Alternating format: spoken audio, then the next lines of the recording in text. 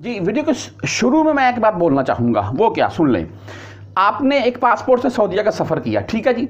आप अभी passport change करवा रखे हैं। मेरे पास बेशुमार ऐसे केस आती यकीन माने ये इसको बंदों की चलाकी बोल रहे हैं, या बेवकूफ़ी बोल रहे हैं, या मिस्टेक बोल रहे हैं, ठीक है? तीनों काम हो सकते हैं।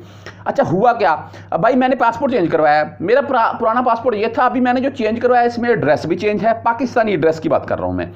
मेरा नाम भी चेंज है। अभी पता नहीं कैसे करवा लिया। चलो मिस्टेक हो गई, सुन लिया। अच्छा जी, मेरा नाम भी चेंज है। तो अभी मैं दोबारा सऊदिया का सफ़र कर रहा हूँ। ठीक है जी? तो मुझे कोई मसला तो नहीं बनेगा। होता क्या है, सुन लें। जब आप एमिग्रेशन के ऊपर पहुँचेंगे ना सऊदिया की बात कर रहा हूँ। सॉरी तो आपके भाई जब फिंगर होंगे एमिग्रेशन में, वो आपको पता, आपका पासपोर्ट स्कैन करेंगे, आपका नाम शो हो जाएगा। जो पासपोर्ट में होगा आपका। जब आपके फिंगर स्कैन होगा ना, दस के दस एमिग्रेशन में और आपकी पिक्चर ली जाएगी। उसके बाद भाई, वहाँ पर उनके पास जो रिकॉर्ड शो होगा, वो आपका पुराना रिकॉर्ड शो होगा। जो आपका नाम पता था, वहाँ पर सेफ़ पहले, वो शो हो जाएगा। जो आपने न्यू बनवाया हुआ है, वो शो नहीं होगा। वो सोच लेंगे, सोचेंगे, ये तो डबल माइंड हो गया भाई। ये तो क्रॉस हो गया। ये बंदा कौन है? वहीं पर रोकेंगे आपको। और वहीं से वापसी का सफ़र करवाएँगे। लाखों रुपए आपने लगाए, आपके ज़ाया। ये बात क्यों कर रहा हूँ मैं? इसी से रिलेटेड ये वीडियो है, सुन लें। इन ताला व्हाट्सअप नंबर भी आपको दिखा देता हूँ मैं।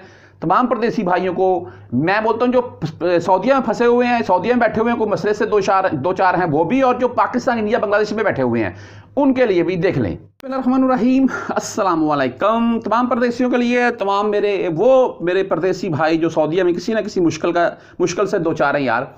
या उसके अलावा पाकिस्तान, इंडिया, बांग्लादेश जा चुके हैं।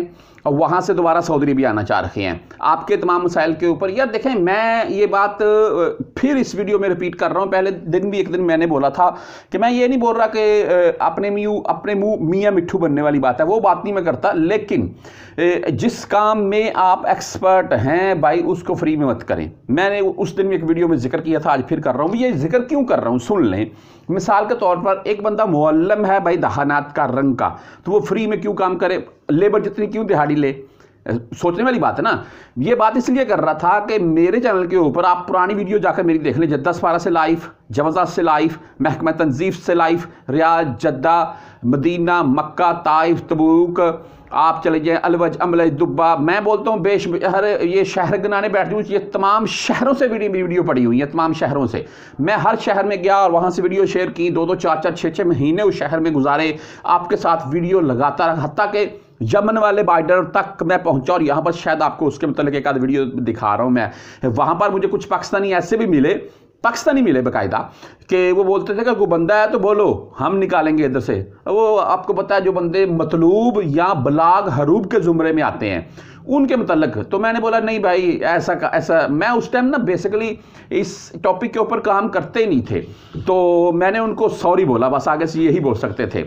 तो ये बात सिर्फ़ आपके साथ करने का मेरा मकसद क्या था? आपको मैं ना यार मैं मैसेज सुनाता हूँ। आप व्हाट्सअप नंबर भी मुख्तलि वीडियोज़ में मैं दिखाता रहता हूँ, भाइयों को इस वीडियो में भी दिखा देता हूँ मैं। आगे मेरा व्हाट्सअप नंबर ये व्हाट्सअप के ऊपर मुझे भाई ने मैसेज किया। मैसेज क्या किया? तमाम परदेसी सुन लें। मैं बोलता हूँ, बेशुमार मेरे परदेसी भाई इसी मसले से दो चार होते हैं। मेन मुद्दा तो हमारा ही काम है एक्सपायर या कंपनी कफील सैलरी दे रहा है। ये मैसेज सुनिए आप पहले। जी, अस्सलाम वालेकुम रहमतुल्लाहि सर, कैसे हैं? ठीक है? सर, शकील बात करूँ, जद्दा सऊदीया से। सर मुझे सातवां हो गया, सऊदी अरब आए हुए मेरा कफील है दो आदमी का, उसका मुसस्सर हेड है। अभी तक मेरा उसने कामा नहीं लगाया और मैं वापस जाना चाहता हूँ पाकिस्तान। तो आज मैं गया था जद्दा अम्बेसी में। उन्होंने पाँच नंबर रूम में गया था, उनके पास पासपोर्ट जाके दिया, उन्होंने कह दिया, आपका रियाज में केस है, आप रियाज चले जाएँ। तो मुझे क्या करना चाहिए सर रियाज चला जाऊँ अभी मेरा काम पहले ही नहीं लगा। मई दो हज़ार तेईस में मैं सऊदिया में हूँ। तो आजकल आजकल फील करते करते ये दिन दिसंबर आ गया है। अभी तक उसने इकामा नहीं लगाया तो आज मुझे एम्बेसी से पता चला कि उसका मसला रेड है। प्लीज़ सर कुछ रहनमाई कीजिए। जी जी मैंने इनको जो भी गाइड करना था ना, वो किया। दो आदमी रियाज के साथ है। ये मुझसे पहले रब्ता कर लेते तो मैंने इनको पहले ही बोलना था कि रियाज जाएँ, जद्दा मत जाएँ। क्योंकि जद्दा में आपका काम नहीं होगा।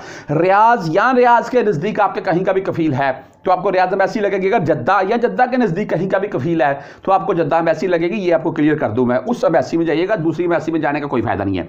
मैंने इनको गाइड कर दिया, भाई, जो भी करना था। बात सिर्फ़ आपको आपको ये मैसेज सुनाने का मेरा मकसद ये था। अभी न्यूज़ के मतलब तो बात कर लेते हैं कि भाई, ये देखें, अगर आपका कोई ऐसा कोई मसला है तो एम्बेसी चले जाएँ। इकामा एक्सपायर है, हरूब की सूरत में आउट पास जाना है। इकामा एक्सपायर है और आपने खरूज जाना है। अम्बेसी जाएँ यार, खरूज लगवाएँ अपना। क्यों एजेंटों के हाथ लगते हैं?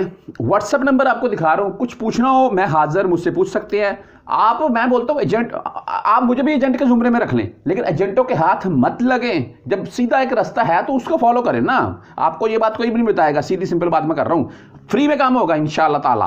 और जो हम व्हाट्सअप के ऊपर यकीन माने हज़ारों भाई आते हैं तो कभी ये नहीं है कि भाई इतनी फ़ीस है व्हाट्सअप की, नहीं। हर बंदे को फिर हाँ थोड़ा बहुत तखीर हो जाती है, उसके लिए माजरत खाऊँ मैं। बहरहाल, बात कर लेते हैं मुद्दे के ऊपर। मुद्दा ये है जी कि भाई साहब को मैंने बोल दिया अच्छा इकामा एक्सपायर है तो फिर भाई आपको ये भी ऑप्शन है जी, अगर आप नकल खफाला करवाना चाहते हैं तो नकल खफाला खुद करवा सकते हैं। कफील को पूछने, कफील है ही नहीं आपका, आप खुद आपके कफील हैं। अगर इकामा एक्सपायर है तो। किसी भी कंपनी में सर या आपके पास जो सॉरी जो भी आपका है जी सऊदी वगैरह जिसके नाम के ऊपर आप नकल फला करवाना चाहते हैं, उसको बोलने के मेरी तलब डलवा। तलब डलवाने के एक महीने के बाद आपका नकल खफाला खुद ब खुद ट्रांसफ़र हो जाएगा उसके नाम के ऊपर। हाँ दो तीन दिन में जो होता है ना, वो फिर पीछे से कफील की मर्ज़ी होती है। इकामा वैलिड हो, कफील को तलब जाती है, वो तलब एक्सेप्ट करे, फिर दो तीन दिन में हो जाता है। जिनके इकामे एक्सपायर हों या कंपनीज़ वगैरह रेड हों तो भाई उनकी तलब तो जाती है सिस्टम में, लेकिन आगे से वो कफील कुछ नहीं कर सकता है। क्यों? जब तक आपका इकामा, अपनी कंपनी को ग्रीन ना कर ले, आपका इकामा ना लगा ले, तब तक वो आपका कुछ नहीं कर सकता है। वो तलब पड़ी रहती है, एक महीने के बाद आपका खुद ब खुद नकल कफाला हो जाता है। जी, ये बात आप शायद समझ चुके होंगे। बहरहाल न्यूज़ के मतलब बात कर लेते हैं और जैसा कि वीडियो के स्टार्टिंग में मैं एक चीज़ का ज़िक्र कर चुका हूँ, उसको भी मद्देनज़र रखिएगा। यहाँ पर आपको एक चीज़ दिखा रहा हूँ मैं। इसमें है क्या? जवजत मतार मलक खालद अलदौली ब रियाज, जबत मुसाफर मुहावला दखूल ममलकत ब तरीका गैर मशरू। ठीक है? ये Riyadh king Fahd sorry, king Khalid, king Fahd Dammam वाला है। किंग खालद एयरपोर्ट से ये गिरफ़्तार हुआ है जी बंदा, जिसकी पिक्चर आपको दिखा रखा हूँ मैं। तरीका गैर मशरू। गैर कानूनी तरीके से सऊदिया में इंटर होते हो। अच्छा गैर कानूनी तरीका कौन सा होता है? बंदा बॉर्डर से आए गैर कानूनी तरीका ये तो नहीं है ना कि आप पासपोर्ट लेकर जाएँ टिकट लेकर जाएँ, सीधा एयरपोर्ट के ऊपर उतरें और एयरपोर्ट से आप अपना पासपोर्ट स्कैन करवाएँ, अपने फिंगर करवाएँ पिक्चर लें आपकी, यानी कि एमिग्रेशन से आप फारग हों जवाजा से फारग हों, बाद में ये तो भाई गैर कानूनी तरीका नहीं है। लेकिन इसको भी गैर मशरूत गैर कानूनी तरीका ही लिखा गया है। क्यों? सुन लें। ऐसा कोई भी भाई, बहुत से ये भी केस सामने आ रखे हैं। सऊदी गवर्नमेंट भाई हज़ारों के हिसाब से बंदे गिरफ़्तार कर चुकी है। जिनके पासपोर्ट तो पाकिस्तानी हैं, लेकिन वो बंदे अफगानी हैं। जब उनके फिंगर होते हैं ना तो पता चलता है, ये तो इसका रिकॉर्ड तो अफगानिस्तानी शो हो रहा है। तो इसके पास तो पासपोर्ट पाकिस्तानी है। तो भाई उसको पकड़ लेती है गवर्नमेंट, फिर सऊदी गवर्नमेंट। मैं बोलता हूँ, हज़ारों के हिसाब से ऐसे बंदे गिरफ़्तार हो चुके हैं। एक तो ये हो गया जी, कि अफ़गानी पाकिस्तानी पासपोर्ट के ज़रिए सफ़र करते हैं। और वहाँ पर पकड़े जाती हैं जब double mind double mind record show हो जाता है। नंबर दो, भाई ये कि आप मिसाल के तौर पर पाकिस्तान आए, जैसा कि वीडियो स्टार्टिंग में बता चुका हूँ मैं, आपने नाम पता वगैरह अपना चेंज करवा लिया, सारा कुछ चेंज करवा लिया तो फिर भी आप पकड़े जाएँगे। नंबर तीन, जो मेन टॉपिक होता है मेन चीज़ मैं इसी को बोलता हूँ, वो ये भाई कि आप मिसाल के तौर पर सऊदिया से आउटपास बनाकर चले गए इकामा एक्सपायर तक लगाकर चले गए, शुरते ने पकड़ लिया डीपोर्ट होकर चले गए। उसके अलावा तरहील हो गया, या कोई भी किसी किस्म का केस था, उस केस की सूरत में आप सऊदी अरब से चले गए, दोबारा आप वीज़ा लेकर जाना चाह रहे हैं। मिसाल के तौर पर आप छुट्टी चले गए, मिसाल के तौर पर आप कोरोना पाबंदियों में रह गए, आपका टाइम ही नहीं पूरा हुआ है अभी तक, और आपने वीज़ा ले लिया और सफ़र कर रहे हैं तो भाई आपको कैसे इंटर होने देंगे फिर वो? जब वहाँ पर एमिग्रेशन में आपके फिंगर होंगे तो आपका सारा रिकॉर्ड उनके सामने आ जाएगा, वो आपको वहीं से बोलेंगे, यहीं से वापस हो जाओ। ये तरीका आपका ठीक नहीं है, और जवाजात इस चीज़ को, ये तीसरा का चौथा केस हो चुका है, जो ज़बरदस्त इस चीज़ को हाईलाइट कर रही है। क्यों हाईलाइट कर रही है? और हम वीडियो बनाकर आपके साथ शेयर कर रहे हैं। क्यों कर रहे हैं?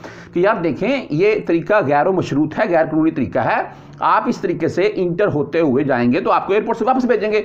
भाई, लाखों का नुकसान है। अभी आप बोलेंगे कि भाई, ये तो तरीका गैर तो सही तरीका कौन सा है? देखिए, आपने सफ़र करने से पहले अपना मतार, यानी कि मरहल पेपर भाई, ज़रूर निकलवाना है। ठीक है?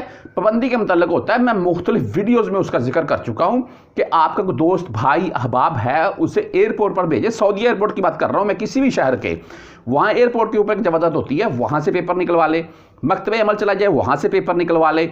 या कोई ऐसा सऊदी आपका हाथ का बंदा है जो भाई आपको जवाजात के अंदर से निकलवा कर दे दे तो वहाँ से भी आप निकलवा सकते हैं।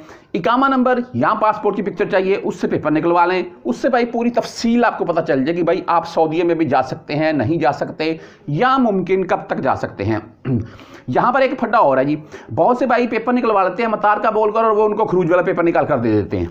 मेरे मुझे सेंड करके पूछते हैं फिर। या एक, एक मसला हो रहा है जी। ए, बहुत से भाई पेपर निकलवा लेते हैं और बाद में भाई मुझे तो ए, अब मैं जा सकता हूँ या नहीं जा सकता? यार मैं बोलता हूँ आपने किसी को पैसे दिए किसी से पेपर निकलवाया? उससे पूछें यार कि आप जा सकते हैं नहीं जा सकते क्या मामला है किस चीज़ के पैसे दिए हैं? सीधी सिंपल बात है।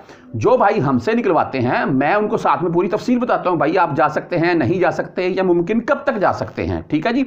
ये चीज़ें क्लियर लें, जिस किसी भाई से भी पेपर लें, उसको बोलें कि मुझे ये चीज़ें बता के मैं जा सकता हूँ, नहीं जा सकता, या मुमकिन कब तक जा सकता हूँ। तो भाई, सऊदी अरबिया में रहने वाले प्रदेशियों के लिए मैंने एक पहले आपको मैसेज सुनाकर पूरी डिटेल बता दी, और जो सऊदी अरबिया से जा चुके हैं, या जाने की सलाह उनकी। तो भाई, अपना फिर पेपर चेक करवाइएगा, उसके बाद सफ़र कीजिएगा।